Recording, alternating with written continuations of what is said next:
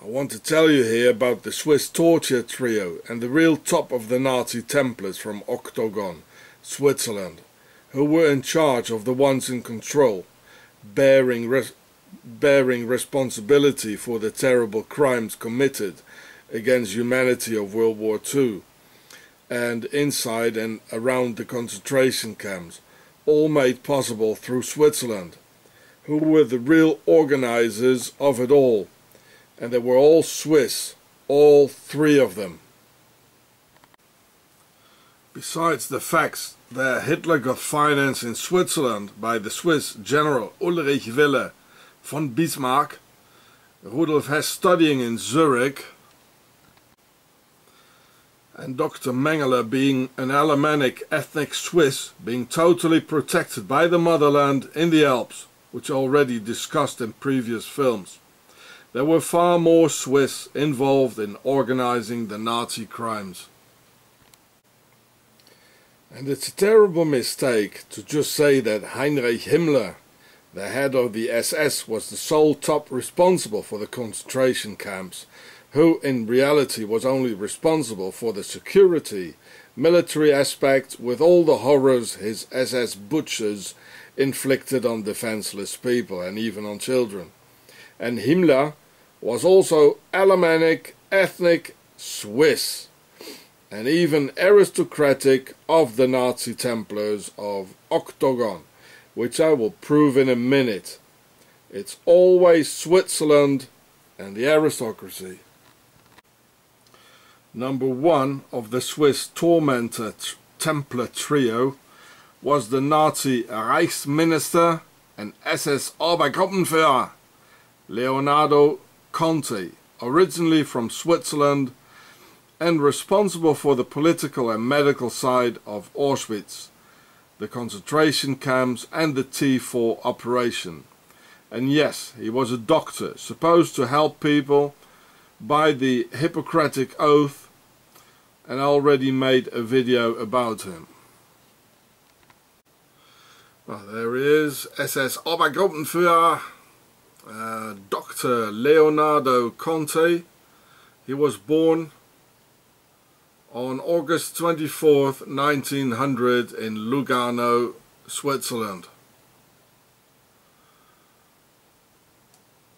There he is, from Switzerland. He was the man, one of the three responsible for of the Tormentor trio. And number two of the top responsibles from Switzerland of the Swiss Teufelstrio was Professor Ernst Rudin. Born in St. Gallen with the fascist symbol in their coat of arms on April 19th, 1874.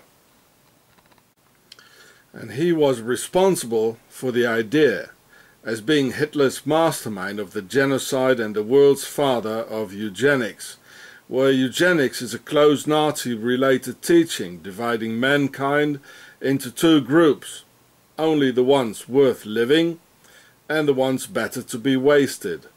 Eugenics always starts with psychiatry, witch hunts, forced sterilizations and backed up by Nazi politics and eugenics always ends up with genocides and industrialized mass murder. Just as we can see it progressing in Nazi Switzerland today in 2014, where eugenics is such a fine typical Swiss concept to begin with.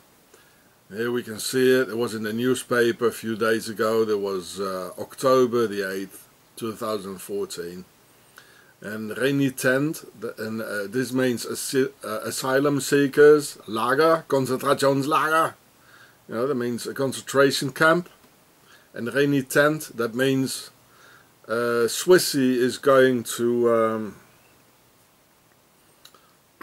is going to uh, tell you who is going, you know, if you don't obey the Swiss, you're going into a concentration camp, and they already built them three concentration camps. and the standards for going in there, you know, first they're going to be low. It's the same thing as in the 13th, you know, in Germany. Uh, you just go in there, you know, for, for nothing, really. Only if you don't like your face or... And then the standards and the criteria for, you know, for getting in there, you know, they're getting lower and lower and lower. In the end, it's, uh, it's another genocide coming up, and they're working on it. It's always been a Swiss idea and nobody is doing anything. Well, anyway, the Swiss are the killers for the aristocracy. You know, they've always been that. You know, the Swiss mercenaries. The uh, it's octagon. It's eight. Switzerland octagon. The Pope's Guard. They're the killers for the aristocracy. The Einsatzgruppen. The wave of killers. You know, coming after the uh, the German army, killing everybody. It's so typical Swiss. It's not typical German. Three Swissies of the infernal trio giving the orders. One on the medical and political level, one for the idea and conception, and one for the executive. Leonardo Conti, Ernst Rudin, and Heinrich Himmler. So Leonardo Conti for the medical and political level, Ernst Rudin for the idea and conception, Heinrich Himmel, Himmler for the executive.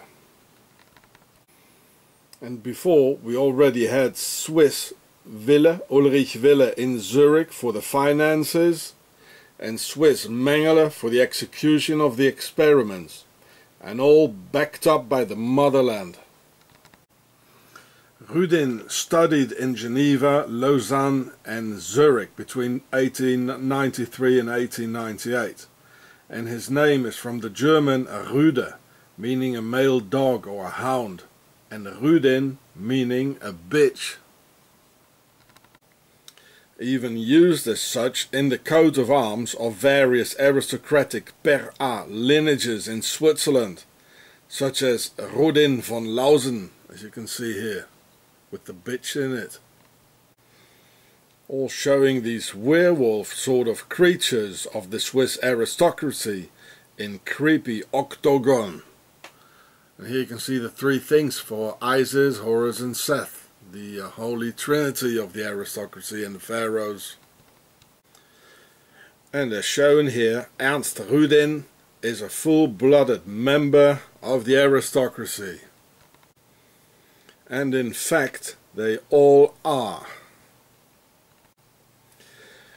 These are the ones who have always been doing these horrible things to humanity and they never stop doing so.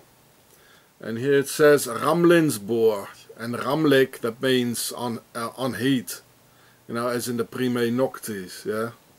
Rudin, the bitches on heat. See my film Fair Aristocracy in which I show the nobility's tradition of torture, slavery, murder, prime noctis, child raping, satanic rituals from Egypt, you name it. I mean, look at history.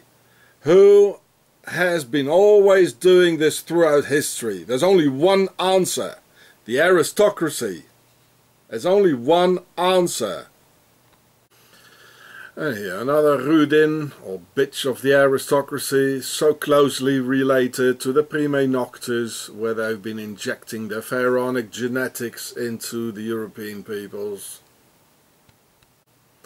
And another one, the three for Isis, Horus and Seth, which is the Horus matrix. And Rudin, it stands for the Prime Noctis. And here it says Rudin, that's that's the name, and, and in, you know, in the Middle Ages, the umlaut it, it disappeared you know a lot of times you know the, the two dots here. But it's the same name. This is his this is his genealogy.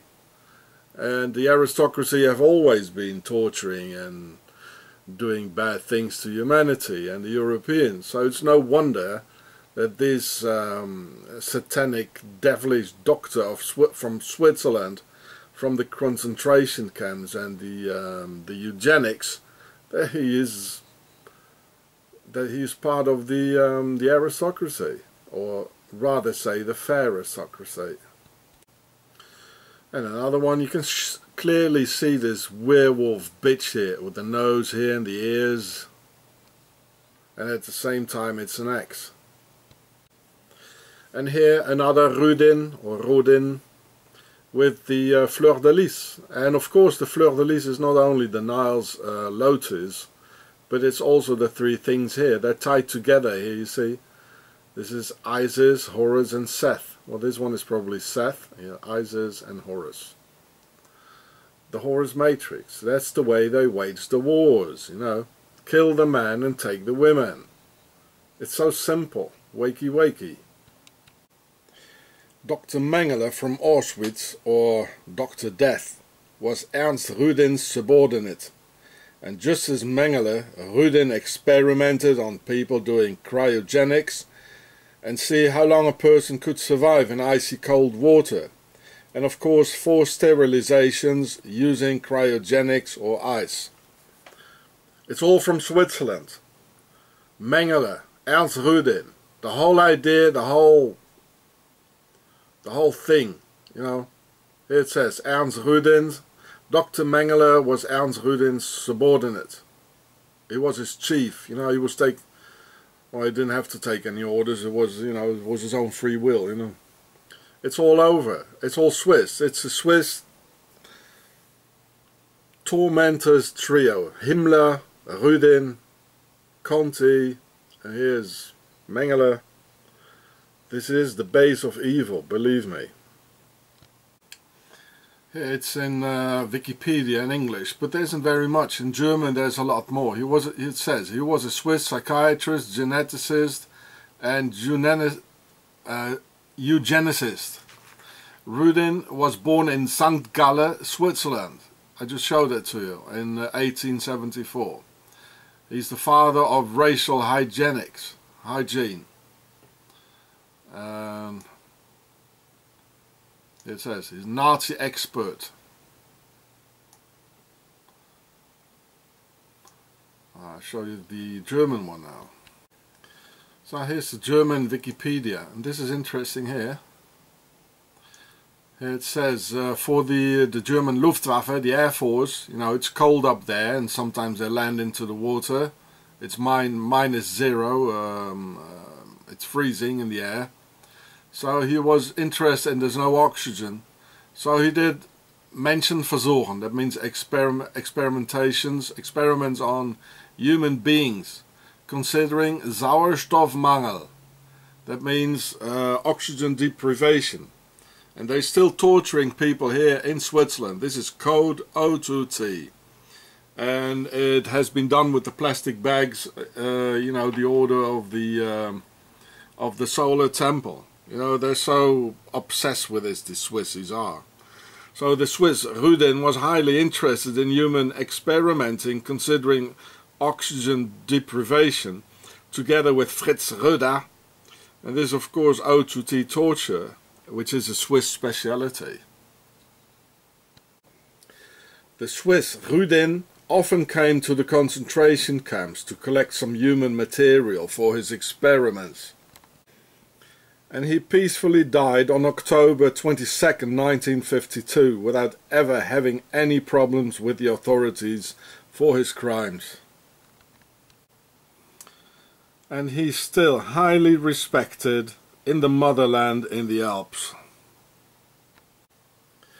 Just as many of the Swiss SS as Hauptsturmführer Franz Riedweg and SS Hauptsturmführer Dr. Kurt Brüderlin, still honored by the Avalon Order, a Swiss Nazi organization specialized in developing the idea of Islamofascism into the Arab world. Well, there's so many of them, I, I just can't show them all, you know, I, I showed just a couple of them. So, so this is another doctor, you see.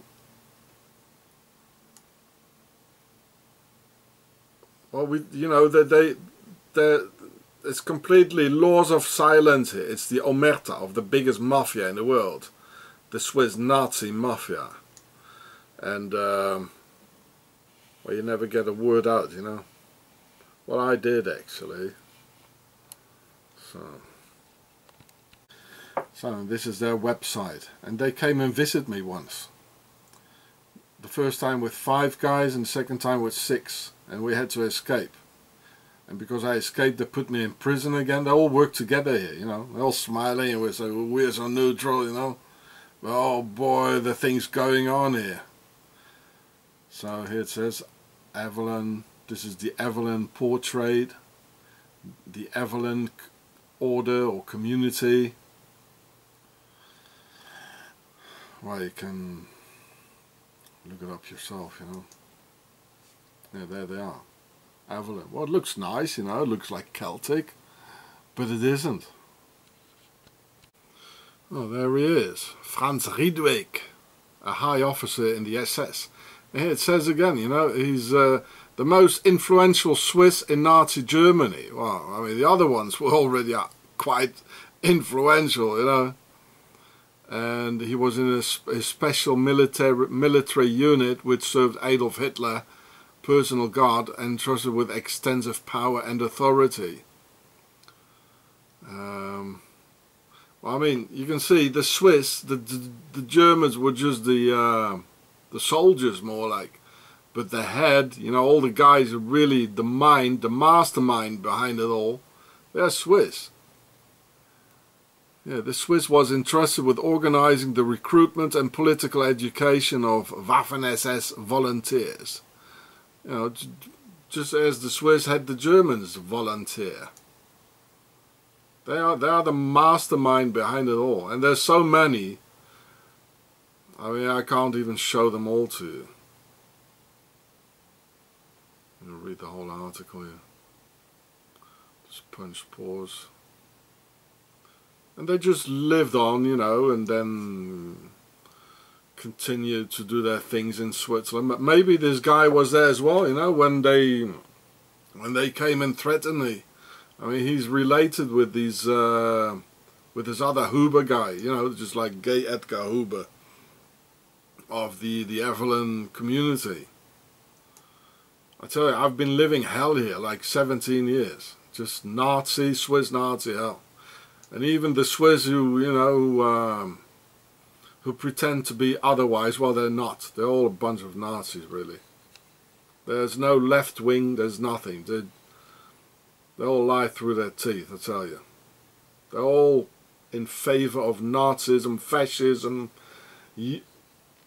eugenics or you name it. There's not very much in English, you know, but here it says he was Franz Riedweg. He was born in 1907 in Lucerne. That's, that's where I filmed the uh, the German helmet, remember, in Lucerne. That's where the, the Nazi red line where they passed by. Uh, he was there, I tell you, you know. It says, he knew Joseph Goebbels, he knew Himmler, well he was Swiss anyway. All of them, he knew them all. Hitler, I mean, he, he was a doctor. Was even a doctor. They're all doctors and torturing people.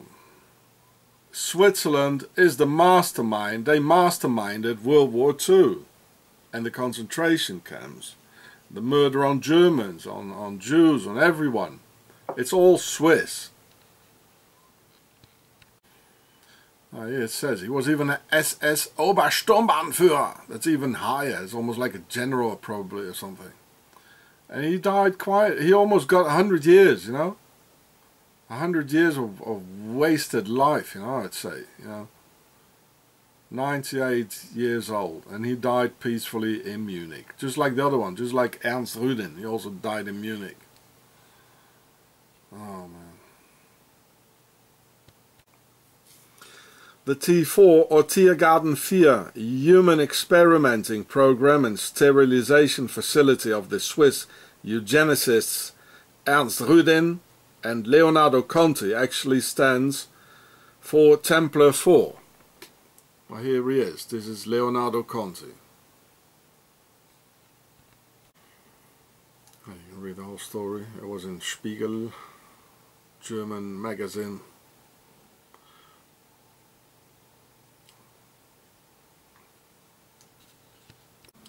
So the T4, it actually stands for Templar 4, with 4 of the base of the pyramid and power structure, meaning the common people as in the relation to the inner circle 6 of the Masons, defended by 8 for octagon. I explained this in this video, I have it in English too somewhere. And here's the 6, which is the inner circle, and like the, um, the square and the compass. And they're defended by the 8, octagon, the military wing. And we are number 4, like T4 we can be wasted. It doesn't matter, like on the battlefield or as cannon fodder or for human experimentations, experiments. So this is the base of the of the pyramid. So this is four, eight, and six. Remember that number. You see it a lot. Yes, there are indeed two very different types of fascism fascism for the poor, the soldiers, the, the masses, and fascism for the rich, the nobility, Switzerland, and the financial elites, where Germany mostly represented fascism for the poor, and Switzerland fascism for the rich, the mastermind. The third of the Swiss Teufelstrio is Heinrich Himmler. There he is, Heinrich Himmler. And this is Amin al-Husseini, the head of Islamofascism and the uh, the Handjar Muslim division. So Heinrich Himmler, he was the head of the SS. He was born on October 7th, 9, uh, 1900 in Munich, the south of Germany. And both his parents were Alemannic ethnic Swiss. And this also explains it why the Swiss with François, François Genoud and Ahmed al-Huber Huber al-Swissri, uh, the guy from the Avalon thing, how they continue to, to, to work on Islamofascism together with the Swiss banks, again, to finance this guy here and uh, Islamofascism. Because this guy is Swiss. It's all from Switzerland. His father, Gebhard Himmler, was born at the Swiss border within the Alemannic area of the ethnic Swiss in the German town of Lindau on May 17, 1865. And his mother, also born at the Swiss border within the Alemannic area of ethnic Swiss, but in Austria, in the town of Bregenz. And her maiden name was Haider, like Jörg Haider of the Austrian Nazi Party. It's just one big family, you know. Only Haider was written uh, with an E instead of an A, but it's, it's, it's all the same, you know. So I show it to you here in German actually, because in, in the English um, Wikipedia doesn't show. So here it says, his father, Gebhard Himmler, he was born in Lindau. I'm going to show you in a moment where that is. And his mother, Anna Maria Haider, was born in Bregenz. So I'll show you now where that is. So here's Lindau in Wikipedia. Here it is, right at the Swiss border. That's where his father is from. Again, Wikipedia. And his mother is from here, in Bregenz, in Austria right at the Swiss border. So here you can see, these are all ethnic Swiss. This is Alemannish or Alemannic. So here's about here this is about Switzerland here, and here you can see Bregenz. Well, they write in in their different form, you know. So this is where the uh, the mother of Himmler got born in the middle, in the middle of the uh, ethnic Swiss area, and Lindau. It's about here and later on they moved to um, to a place about here on, on the Rhine, Landshut. It's about here I think. So right in the middle. Uh, there's even a big chunk of Italy, a big chunk of Austria here, and even Bavaria. This is why most of those uh, SS and Nazi uh, camp commandant, they all came from, you know, the ones who came from Bavaria, well, it, it is all ethnic Swiss really, it's all Alemannic. And well, they are the ones behind it. So this is where he's from, uh, Mr. Himmler. This is Swiss, yeah, yeah. And they're even actually discussing it, you know. So this is uh, July the 30th, 2014. It was this year. And they're talking about the, um, the empire Switzerland. Großmacht Schweiz. I already showed you parts of this in my film about uh, Mengele and how he was protected in Switzerland. Uh, I showed you some other maps. Maybe you can have a look at it. It's in the uh, in the links. So even the OECD, uh, well that's in German, they call it a bit differently in English. Uh, they even say that Bavaria here and, and Baden-Württemberg of course, they uh, they fit much better to uh, to Switzerland. I mean, this is why all the you know, all the the camp commandants, you know, of the concentration camps, they all you know most of them, a lot of them, they came from Bavaria. They are ethnic Swiss, and a, a, a huge chunk of Bavaria, it's Alemannic.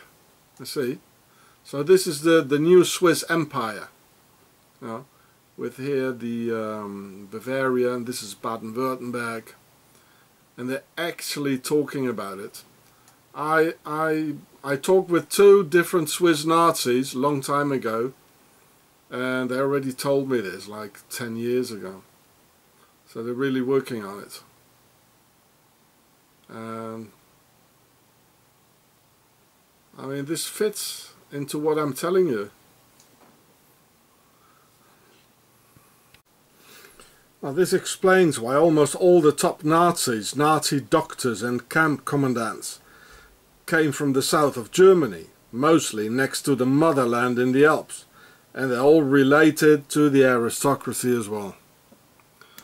So here again, this is the, uh, the, the lake Boden, Bodensee. Here's Lindau, his father is from here. Here's Bregenz, his mother.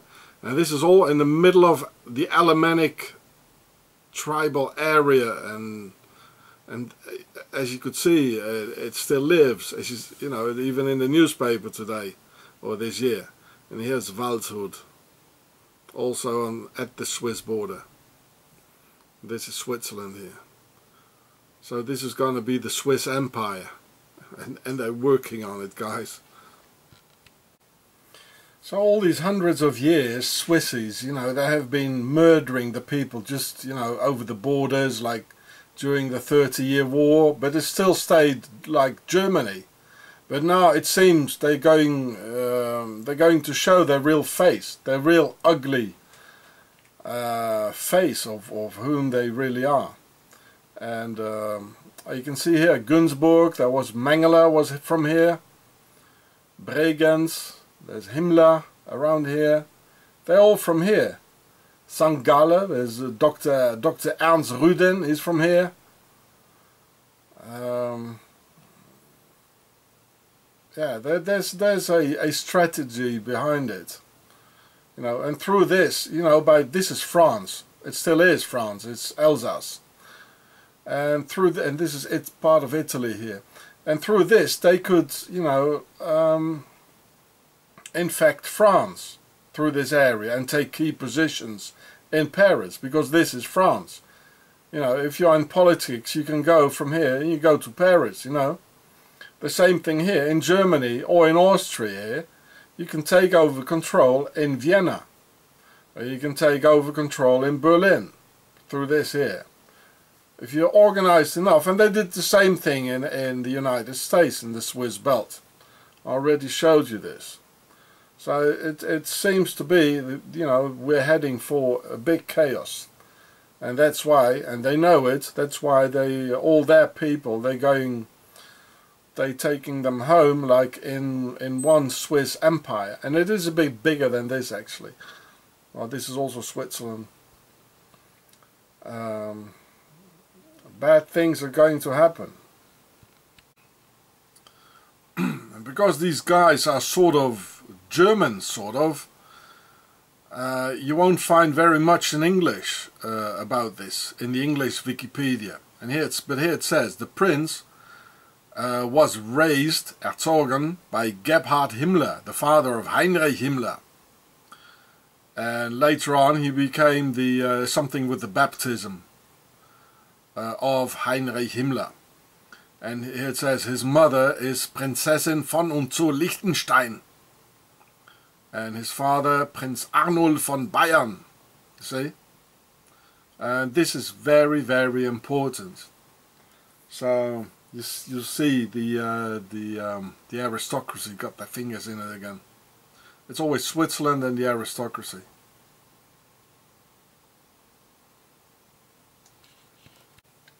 I think this is the father of that princess. So Liechtenstein means the stone of light, as in Illuminati or light bearer, and is basically a part of Switzerland. Or maybe Switzerland is a part of Liechtenstein, who knows. And they're using the Swiss franc and they're tightly ruled by the Prince of Liechtenstein until this very day, 2014. It's still the same there the aristocracy is still, well, they're ruling everywhere, but I mean, you Now, why do you think Heinrich Himmler got raised together with the upper aristocracy if he wouldn't have had the blue blood of the pharaohs running through his veins?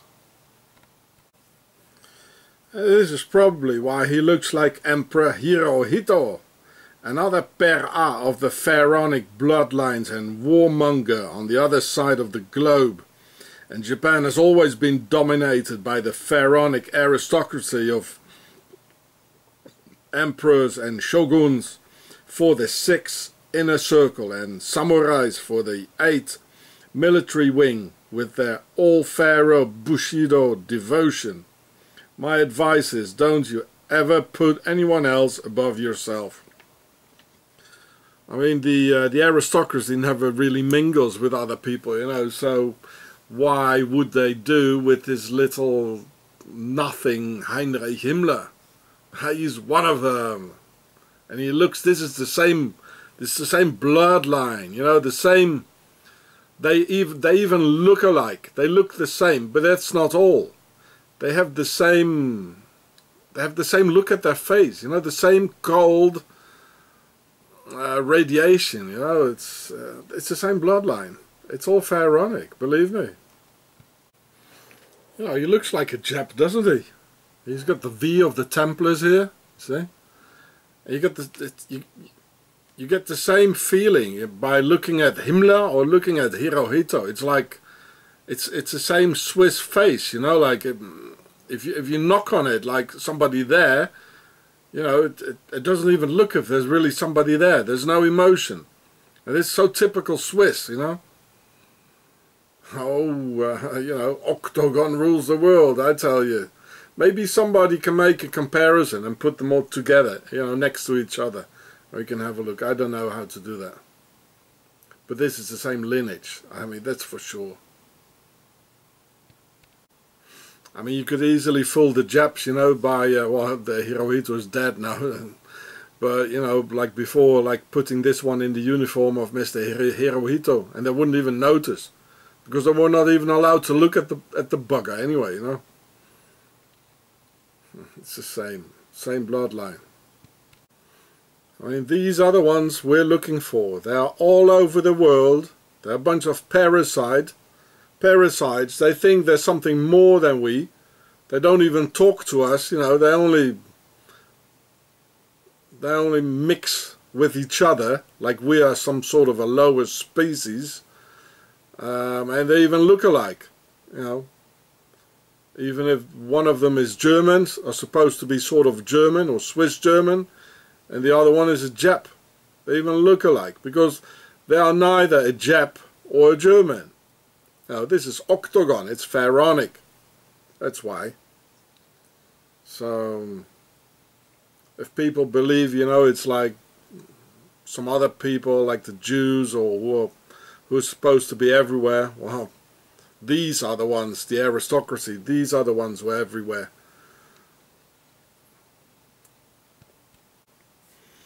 And this is also Hitler's secret that through his grandfather, Frankenberger, he was a member of the German nobility and therefore had all the original workers' leaders of the original German National Socialist Workers' Party all murdered in the Night of the Long Knives in 1934 and replaced them with the nobility, turning this Workers' Party by the German people into an elitist party.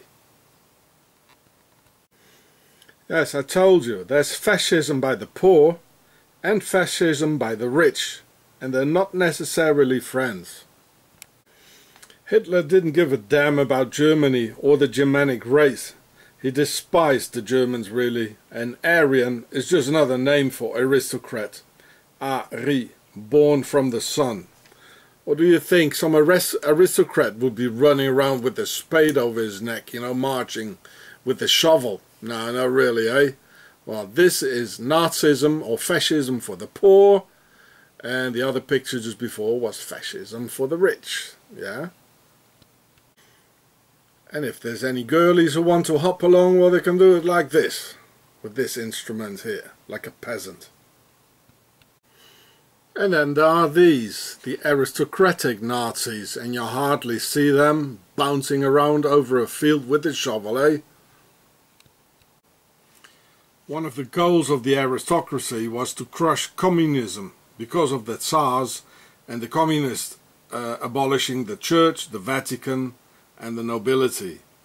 This is why the Swiss Octagon, as Karl Jaeger of the Jaeger Report, and the nobility formed a wave of Einsatzgruppen like Battalion 322 to murder all the civilians and they came as a wave after the um, after the German army.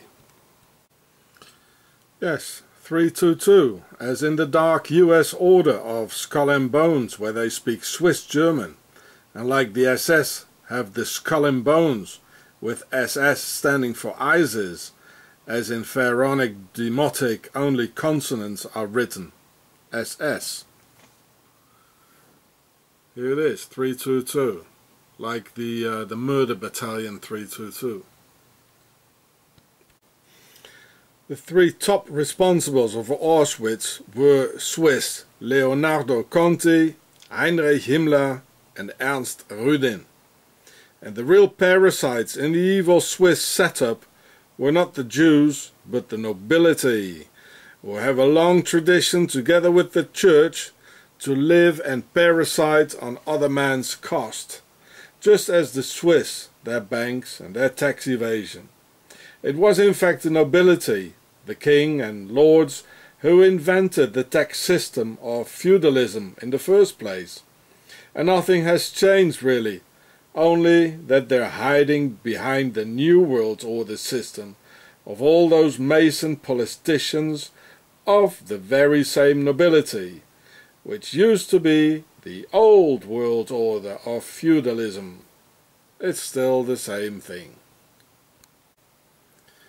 and even Field Marshal Hermann Göring was nobility with the official title of Ritter von Epenstein of the Veldenstein Castle near Nuremberg.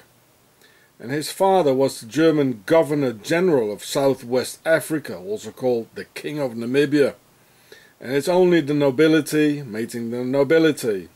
So he met Count Erich von Rosen in 1920 in Stockholm, where he saw the swastika in the castle and finally married his sister-in-law, Baroness Karin von Kantzow. Well, nobility always marries nobility, even if it doesn't seem so. So was this uh, Goering saw on the uh, on the castle, and this is the castle and there were more things, more swastikas like here and this is because the uh, because of the Viking connection, the Haunebu with the uh, with the pharaohs and also showed you in another film that this is pharaonic so through the pharaohs Uh, the whole nobility took this here.